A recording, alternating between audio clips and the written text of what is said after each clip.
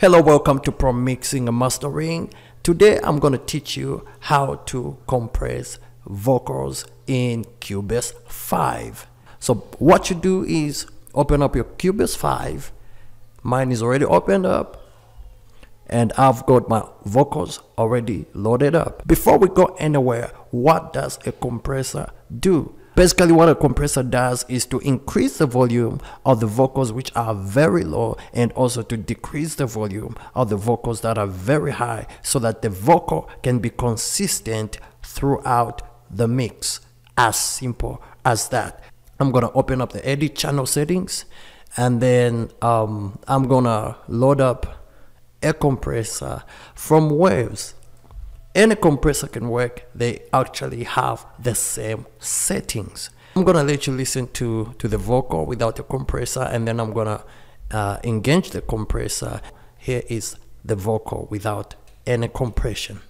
Doors may close friends may go but god will still be right there with you. You are meant for more.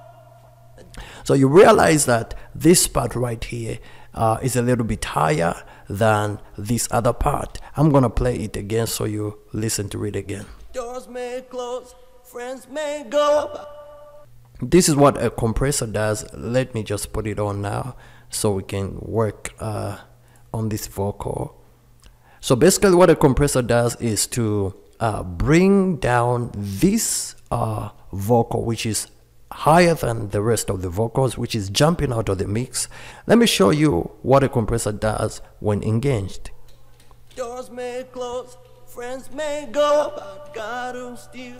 Right now the compressor is doing nothing because nothing has been done to the uh, gain to the ratio to the threshold and to, to, to the attack. I'm gonna set my ratio to um, 3 3 to uh, let me put it on 3 to 3 to 1 ratio. And then doors may close friends may go but God will still you can see right here that the compressor started working. Doors may close go but God will still especially when the high vocal uh, comes in, you can see that the compression begins to, to work by reducing it a little bit. The work is not yet done.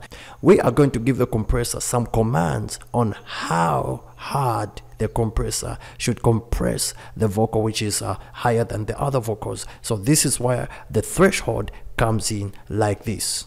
Doors may close, friends may go, so now I'm gonna engage in the threshold.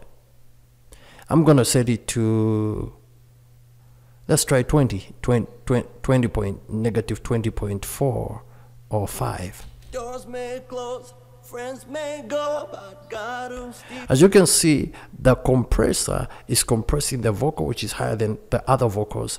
Then um, now we are going to set our release how the compressor is going to be engaging on the vocal a faster release releases the compressor in a faster way. Then a slower release releases the compressor in a slower way. Let me show you what I mean by uh, releasing it slower. I'm gonna just take it to to to the last to about 5000 and see what the compressor does on the vocal which is higher than the other vocals. Doors may close, friends may go, but God will still be right there with you it has a slower release. Even when it attacks that vocal, it it, it doesn't attack the vocal in a harsh way. It, it it's more like it has a fade, a fade in and then a fade out uh, effect. Let us try to set it somewhere here. Doors may close, friends may go, but God will still be right there with you. You can tell the difference and you can see how uh, a compressor works on vocals so that the vocal doesn't jump up and down. This is what a compressor does. Now, concerning their attack, their attack actually works on how the compressor attacks the vocal, and this is how it works. A faster release is like this. Doors may close, friends may go, but God will still be right there with you. I've just taken back our release. Doors may close, friends may go, but God will still be right there with Now check out without a compressor. Listen to the vocal before and after the compressor has been engaged. Doors may close, friends may go, That's too much. Now we engage in the compressor. doors may close, So you can see that the compressor tries to reduce the vocal which is higher than other vocals. This is how a compressor works. And once you've done your compression, you go to your gain, this button right here. What happens is during compression, some of the volume uh, is taken out. So the gain is used to bring back that volume which was taken out. So right now we are going to put about uh, um, we we might have taken out some about 3 3 dB 3.0 so we take it back. Doors may close, friends may go, but God will still. before? Doors may close, friends may go, but this part I want you to look at this part. This is the part that I want you to look at as we engage the compressor. Doors may close, friends may go, but with the compressor doors may close, friends may go, but God will still. a very huge difference. I love what this uh, compressor is doing to the vocal, especially the high vocal.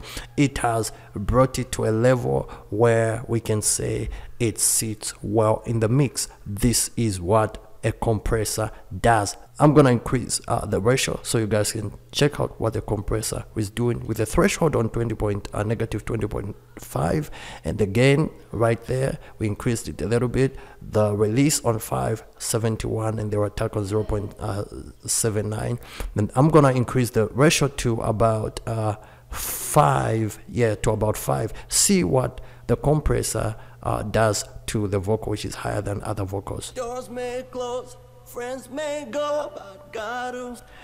huge huge a lot of compression is going on around this area where the vocal is. A lot of compression is going on. Doors may close, go, as you can see it goes to negative 12 dB when this is engaged in. So part of it is cut off to uh, 12 negative 12 to, to 12 uh, dB compression let me try to to increase the threshold so you can see what happens when the threshold is increased doors may close, friends may go.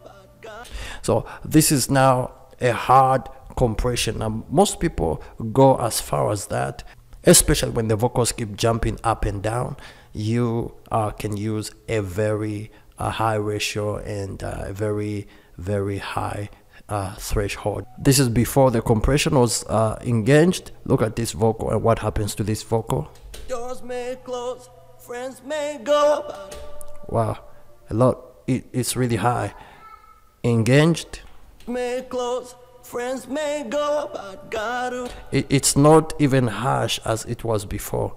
This is what a compressor does. So i hope you've learned something. If you learned something uh, about compression please subscribe to my channel for more videos. And don't forget to leave me a like.